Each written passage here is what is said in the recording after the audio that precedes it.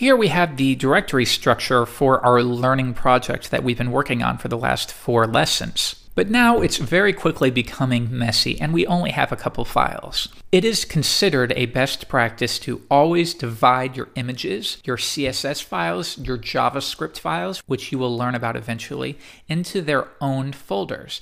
That way you don't have 30 images within the root. It's much harder to navigate. It's much less organized.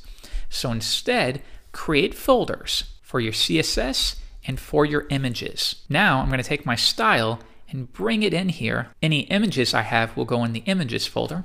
Once you begin working with JavaScript, you will place any scripts within this folder. And then it's still okay to have dividers for your specific HTML files. It just depends if you need that. It's perfectly okay to have about.html within the root of your project if that's what you want. Now, if we come back to our project, we need to update this. Before, we were referencing style.css, but that will no longer work if I reload the page, as you can see like so. And that's because we are looking for style.css within the root, but we should really be looking within the CSS directory.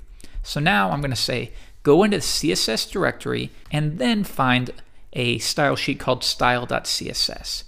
Reload the page, and now all is working fine. And we've organized our files much more cleanly. So always do this for each new project. You may even find that it's smart for you to create a base folder and file structure for all new projects. That way you don't have to create these folders and files manually every single time. And I highly recommend you do that.